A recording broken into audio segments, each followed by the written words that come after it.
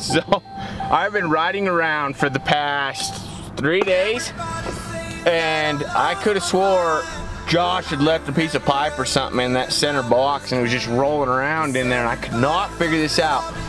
Pulled into Home Depot. Now you guys gotta be super aware of this stuff because you could cause some serious problem and it might cost you a lot of money and it could really hurt somebody but the old Hoosier bull is stuck out here.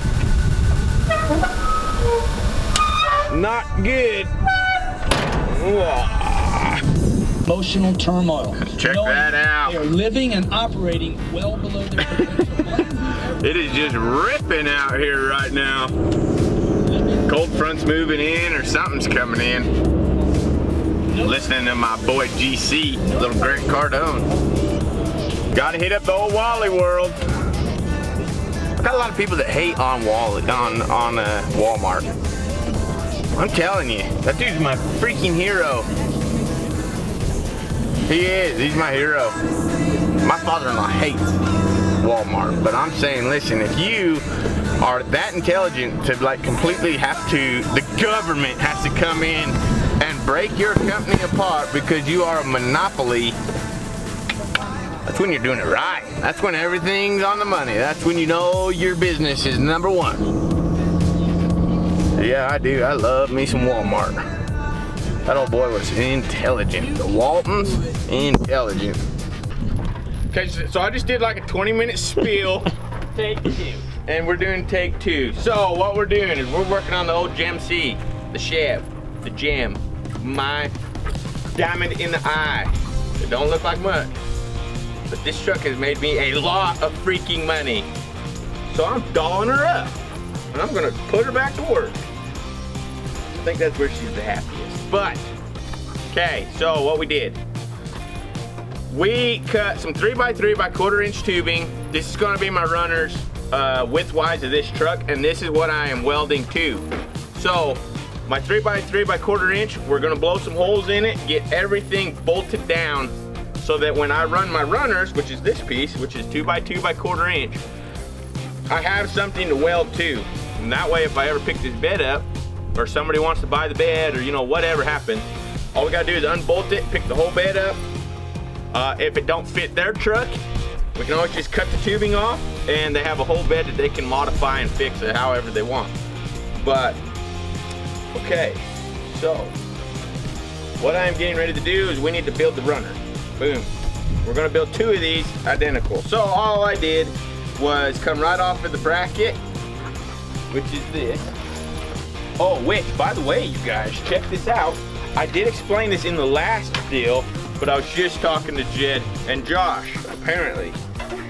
Anyways, I chopped my frame.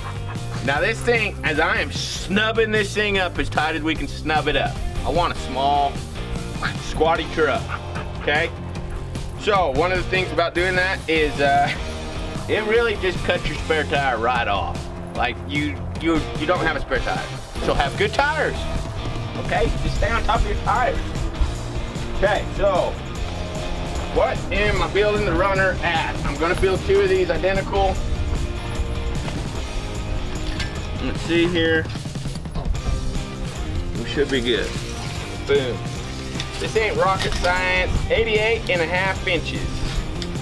So I need to build two like that. Whatever that is. Okay. Okay, homies. Got the braces built. Okay, now, the way this bed is gonna be set up is off of these braces. Now we're getting our toolboxes, we're getting the front.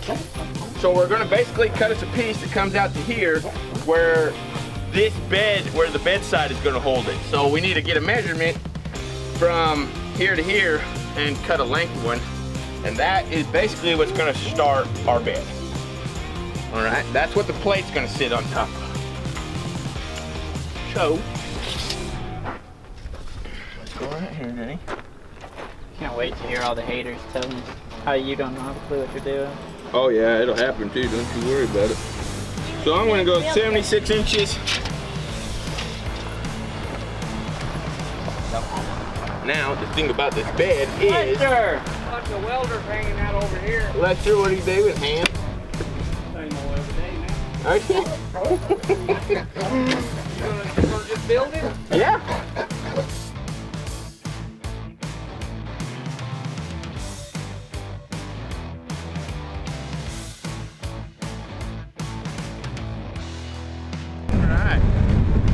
So what is that piece?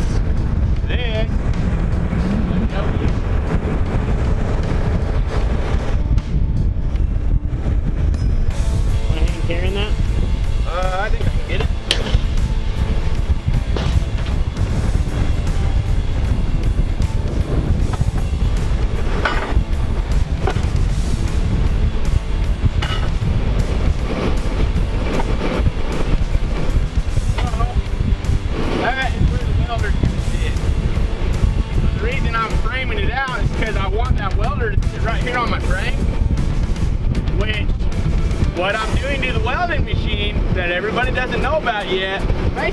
I will be able to see out my back window.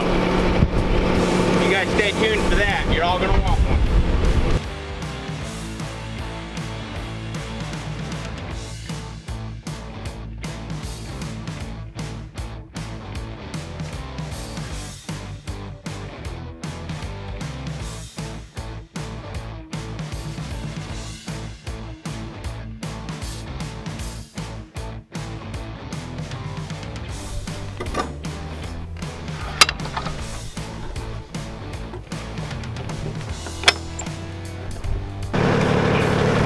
Okay, frame is basically built. Josh is getting it welded together, LH and everything, so it'll drag a trailer down the road if we have to.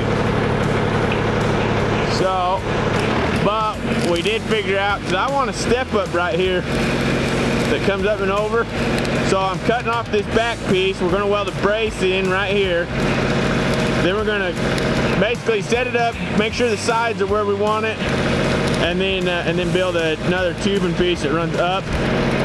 And that way we got a little bit of a step up, a little more room in your boxes, and uh, for jack stands. Because our jack stands are gonna sit like right about here, somewhere. We're not sure, but it's gonna be there. Anyways, we're coming together.